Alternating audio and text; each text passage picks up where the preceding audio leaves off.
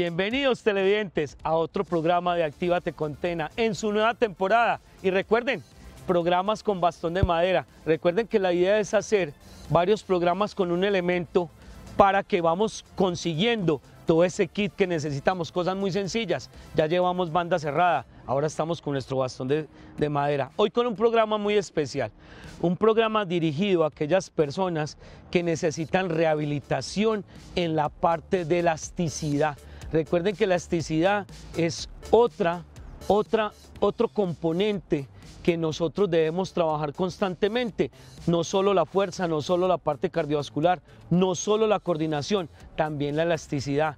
Aquellas personas que no tienen o tienen poca elasticidad normalmente sufren de contracciones musculares más fuertes, dolores musculares, se acuestan fatigados, se levantan fatigados. Hoy, con este elemento, vamos a aprender cómo hacer un excelente estiramiento por articulaciones. Muy bien, para poder hacer una elasticidad coherente, que me llegue, que me coja los músculos, hay que también hacer movilidad articular. Correcto, si yo hago movilidad articular y luego estiro, ahí sí estoy dándole al cuerpo una enseñanza positiva y no lo estoy llevando solo a estirar para lesionarme. Muy bien, televidentes, yo nunca debo estirar sin haber elevado temperatura hay que elevar temperatura. ¿Y cómo lo vamos a hacer? De una vez con movilidad articular. ¿Qué vamos a hacer? Rotar los hombros adelante. Mientras marcho. Ya estoy haciendo movilidad articular, pero también estoy elevando temperatura. Que lo quiero hacer trotando. Mírame, perfectamente. Ahora me devuelvo. Activar para estirar. Hay que calentar. Y stop. Ahora voy a colocar mi bastón en el piso. Voy a colocar la punta del pie, observen, y voy a rotar el tobillo hacia afuera. Eso se llama movilidad articular. No es necesario hacerlo en el sentido contrario. La idea es que tu tobillo se mueve, se lubrique, reciba esa información. Cambio la punta, me apoyo del, del, bastón, para eso está el bastón, y hago movilidad articular del tobillo. Ahora, sigo con el bastón apoyado en equilibrio y hago una flexoextensión de tobillo. Ya los gemelos están calentando para ahorita elongarlos. ¿Qué es elongar? Es estirar el músculo. Cambio.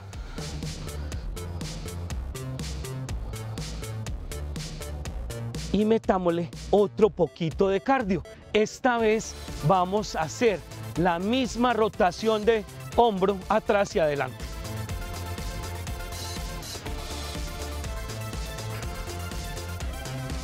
Cambio, adelante. Nos colocamos el bastón detrás de la columna. Sostenemos el bastón y vamos a empujar haciendo una basculación pélvica para que esa columna quede lista para estirar ahorita. 10, 9, 8, 7, 6, 5, 4, 3, 2 y 1. Mira hasta donde va la ayuda del bastón para hacer un ejercicio. Y terminamos de nuevo con la rotación de hombro y la caminata o el trote. 10, cambio. Muy bien, televidentes. Y por último, antes de ir a la pausa, en la pausa quiero que camines, que trotes, que montes en la bicicleta si la tienes. Es tu cuello a los lados, mírame. Mirándose el hombro por encima. Dos, tres, cuatro, cinco, seis, siete, ocho, nueve y diez. Muy bien. La idea es que llegues con temperatura para hacer un trabajo de estiramiento. Necesitamos el bastón, la colchoneta y recuerda tu agüita para hidratarte. Camina o monta en bicicleta, no te quedes quieto, actívate con Tena.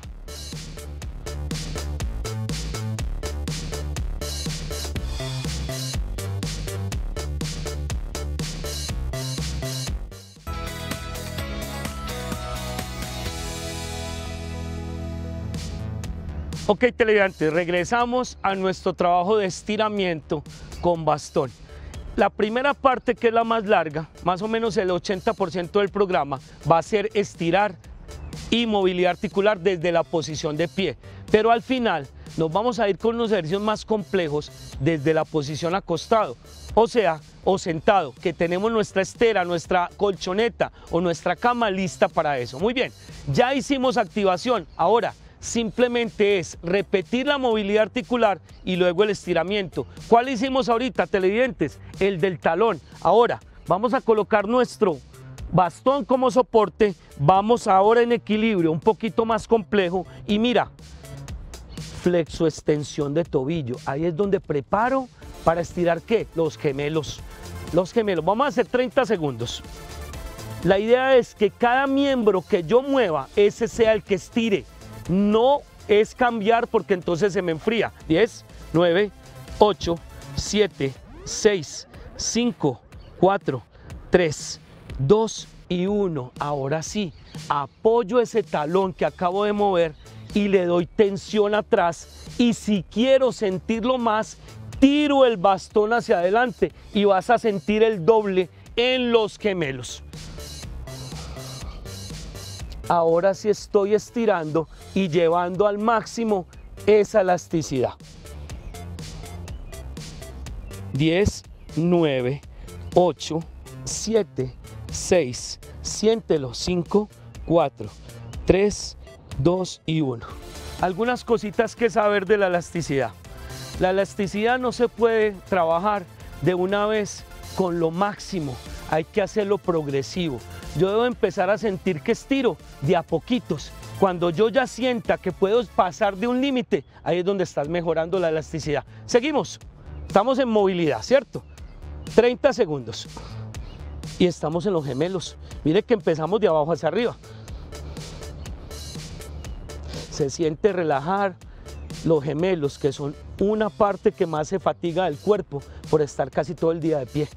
Si yo hago esto cada hora, cada media hora, te aseguro que no se te van a cansar tantos. 5, 4, 3, 2 y 1. Ahora sí, voy a la elasticidad. Ahí ya estoy estirando. ¿Qué hago para estirar más? Llevo el bastón adelante. ¡Wow! Ese sí que lo sentí, televidentes. Cuando un músculo de una pierna o de un brazo se siente más que otro, quiere decir que está más pegado a nivel de elasticidad o que está más fatigado o lo uso más. Por ejemplo, yo uso más la derecha y la estiro y la siento más que la izquierda. Puede ser eso. Muy bien, pasamos a los músculos posteriores de la pierna. Ojo con estos. Cuando uno medio se resbala, patea un balón frío, corre, hace un movimiento rápido, normalmente este paquetico de músculos se tironea. ¿Sí? ¿Sabes a qué me refiero? Se estira forzosamente y duelen. Por eso debo tener esas piernas posteriores muy bien estiradas y preparadas. ¿Cómo hago la movilidad articular? Bajando en columna como un peso muerto, pero cortico. Ahí las estoy activando. Vamos a hacerlo 20 veces. Uno, dos, tres. Ahí estoy activando para enseguida estirar. Cuatro, cinco, seis, 7, 8, 9, 10. ¿Ya lo sientes activado? 15, 17, 18, 19 y 20. Muy bien, ¿cómo vamos a estirar esa parte de los isquiotibiales o bíceps femoral? En tres rangos. El primero fácil, el segundo un poquito más exigente y el tercero que lo sienta bastante. Flexiono un poquito las rodillas y me voy a ir como a tocar el piso con el bastón. La mirada va hacia el piso, ¿de acuerdo? Voy a sentir que todo esto se estira. Vamos televidentes, despacio, despacio y la columna también está beneficiándose. Llego hasta el piso y cuento 10, 9, 8, 7, 6, siéntelo, 5, 4, 3, 2 y arriba lentamente. Muy bien, ahí va el nivel 1. Ahora vamos a hacerlo un poquito más exigente. En vez de ir al piso, voy a tratar de ir más adelante del piso. O sea, como si diera un paso más con mi bastón. ¿De acuerdo? Ánimo pues, si ahorita fue acá, voy más adelante. Trata de llegar. Adelante, adelante. Si no soy capaz de tocar el piso, simplemente me quedo ahí. 10, 9, 8, siéntelo. 7, 6, 5, 4, 3, 2 y me levanto. Estira demasiado. Y el último lo vamos a hacer simplemente con un pie adelante y el otro atrás. ¿Qué es eso? Coloco el pie que voy a estirar con la punta elevada, el otro atrás y voy simplemente a meter, ojo pues televidentes que aquí radica lo duro, por detrás de la punta del tenis el bastón. Si no soy capaz, simplemente toco la punta del tenis. Míralo, por debajo, ahí, ahí y lo voy a jalar. 10, 9, 8, 100%, 7, 6, 5, 4, 3, 2 y descanso. Respiro porque tengo que hacer la otra pierna, ¿cierto?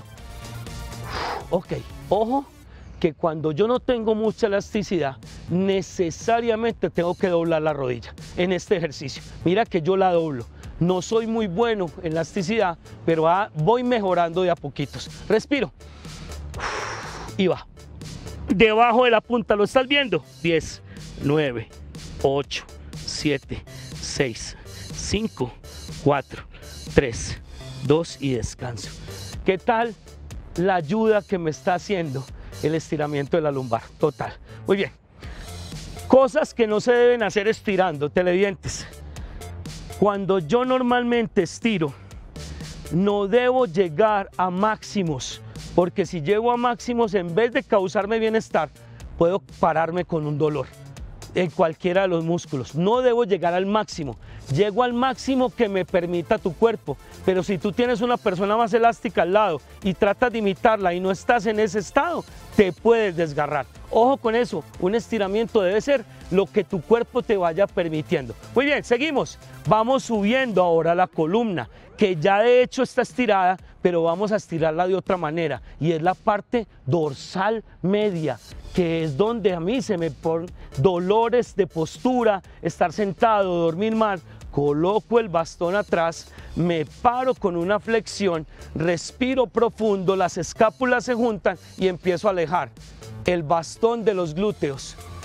Profe, cuando yo ya siento que estoy estirando, ahí lo dejo. Sí, señora, ahí, ahí. Ahí me llegó a mí, no lo puedo forzar porque entonces el hombro va a coger dolor. 10, 9, 8, 7, 6, 5, 4, 3, 2 y descanso. ¿Qué tal ese ejercicio? Para meter esos músculos que se salen de la espalda. Muy bien, ahora seguimos con la espalda. Y ojo, doblo rodillas como si fuera a hacer una sentadilla, pero esta vez como si alguien me cogiera el bastón y me jalara suavemente hasta que me jale todas las vértebras. Listo, va. 10, 9, 8, 7, 6, 5, 4, 3, 2 y 1. Más fácil que el anterior, claro que sí, pero se siente. Y por último, uno que tiene que ver con el cuello y es que voy a jalar lo mismo, pero como si alguien me jalara de arriba a tratarme de levantar del bastón. Vuelvo a posición, posición normal y voy arriba, lento, respiro, meto barriga y me jalo las vértebras y de una vez voy tirando el bastón hacia atrás y hacia atrás hasta donde te dé. Ahí ya estás estirando el 100% de la espalda. 10, 9, 8, mira qué fácil y con el bastón doble. 7, 6, 5, 4, 3, 2 y descanso. Listo, llegó la hora de ir al piso. ¿Por qué? Porque ya tenemos el cuerpo listo para hacer un poquito más de elongación, para hacer un poquito más de estiramiento. Muy bien, me acuesto, me acuesto, no, perdón, me siento. Esta, esta posición no para muchas personas es fácil, porque mantiene la columna erguida, normalmente nos hace esto. La idea es que metamos la barriga y saquemos la espalda. Observa. Y aquí vamos a repetir algo parecido a lo que hicimos antes de espalda, pero en esta posición. Esta posición nos va a obligar a estirar mucho más. Si te causa mucha dificultad, trata de hacerlo en el menor grado posible. ¿De acuerdo? Subimos el bastón. Observa qué bonito. Y esta vez nos van a jalar imaginariamente, pero del lado como si el bastón fuera a tocar el piso de ese lado y ahí llegué. La cabeza no puede dañarse, la estructura de la espalda tampoco. 10, 9, 8, 7, 6, 5, 4, 3, 2 y descanso. ¿Cómo descanso? Colocando las manos atrás y respirando. Para mí es duro, me imagino que para mucha gente también. Ojo televidentes, si yo no tuviera el bastón de madera ayudándome sería más difícil hacer este tipo de estiramiento. Listo, nos vamos, respiramos y soltamos el aire en el momento que vamos a estirar. Uy, deliciosa esa parte. 10, 9, 8, 7, 6, 5, 4, 3, 2 y descanso. Ahora te invito a que cambiemos la posición de ahí a la posición de yoga.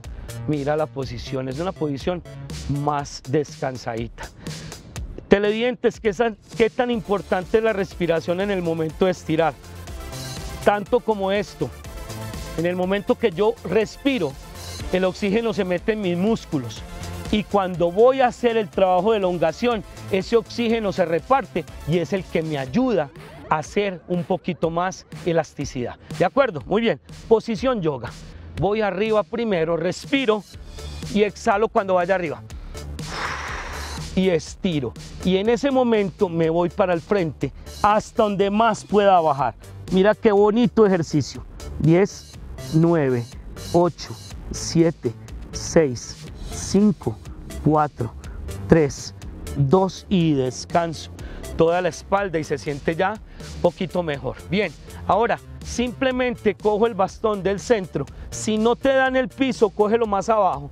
Cruza la mano y vamos a estirar el hombro. Mira que el bastón me está ayudando a tener la mano mucho más fija para poder hacer esto. Esto es un estiramiento del hombro y de la escápula o la espalda alta. 10, 9, 8, 7, 6, 5, 4, 3, 2. Respiramos, cogemos el bastón con la otra mano, apretamos. 10, 9, 8, 7, 6, 5, 4, 3, 2 y 1. Ahora, vamos todavía con el hombro un poquito más exigente. Tengo el bastón acá, la otra mano tranquila y voy llevando esa mano hasta que se bloquee, ojo, sin acompañarla con el tronco, hasta que se bloquee el hombro donde más pueda llegar. A mí me llegó ahí. Si alguna persona tiene problemas de hombro, hágalo lo menos posible que le tensione. Observe cómo estira su hombro al 100% en ese ejercicio. Si lo hago sin bastón va a ser más fácil, pero la idea es que tengas el bastón, que tengas ese pequeño peso. 5, 4, 3, 2 y 1. ¿Cómo sabes tú que puedes llegar más allá? Cuando a la segunda, tercera vez que lo hagas, sientes que es más fácil, es porque estás mejorando. Mira, hasta donde te dé. Este, por ejemplo, me dio más que la derecha. Es un trabajo donde hay más fatiga. Es un brazo que tiene menos fatiga que en la derecha. 10, 9, 8, 7, 6, 5, 4, 3, 2 y queda lista la espalda y el hombro. Ahora nos vamos con algo fundamental, el cuello. El cuello. Mucho cuidado con el cuello, hay que tenerlo muy en cuenta que no puedo forzar el cuello porque me puedo ganar un dolor en la cervical. Coloco el bastón debajo de mi mentón. Ojo que con el bastón siento que hago más fuerza. Vas a empujar hacia arriba, mirando levemente el cielo. Ah, se siente rico. 10 segundos, cuéntalos mentalmente. 9, 8, 7, 6, 5, 4, 3, 2. Agradables ejercicio, sin forzar. Ahora coloco el bastón en la mitad de mi cabeza por detrás. Listo. Y voy a hacerle fuerza. Con mucho cuidado no te vas a, a, a golpear con el bastón, haces fuerza hacia abajo. Y ahí lo tienes estirando, delicioso, con una pequeña presión. 10, 9, 8, 7, 6, 5, 4, 3, 2 y descanso. ¿Qué tal esos dos ejercicios? Bien, aquí sí te pido que dejes el bastón a un lado, porque lo que sigue necesita simplemente tu mano, tus manos, para hacer un trabajo que no vaya a golpear.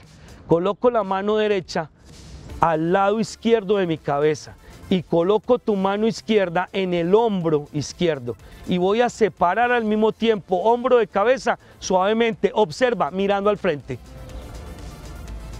10, 9, 8, 7, 6, 5, 4, 3, 2, descanso, delicioso. Ya se siente uno suelto, se siente más descansado. Coloco la mano contraria y coloco la mano del mismo hombro y jalo.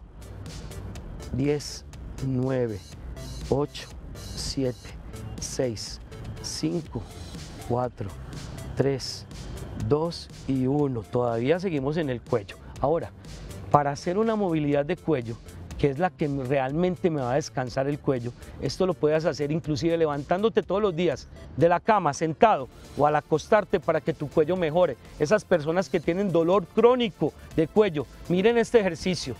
Es hacer tres círculos completos a la derecha. Uno, dos y tres. Parar y respirar. Aquí es donde no me mareo. Si no respirarías, te marearías. Y vamos hacia la izquierda. Uno, dos y tres. Si tú haces este ejercicio antes de cuando te levantes y antes de acostarte, te aseguro que tu cuello no va a sentir dolor o se va a disminuir. Muy bien, y un ejercicio estrella para terminar este estiramiento de la clase de hoy es colocar ambas manos, los dedos sobre los hombros y hacer las mariposas. ¿Qué son las mariposas? Las mariposas son descontracturadoras de la espalda y el cuello. Vamos a hacer cinco adelante y cinco atrás. Observa, respira profundo y nos vamos. Una, dos, tres, cuatro y cinco. Y la que más descansa, la de atrás. Una, dos, tres, cuatro y cinco. Televidentes, y hasta aquí llega nuestro programa de estiramiento con bastón de madera. Recuerda, hay programas que me ponen a sudar, hay programas que me dejan fatigado, pero hay programas como estos que la idea es que quedes descansado y lo apliques en tu vida diaria. Nos vemos en nuestro próximo Actívate con Tena.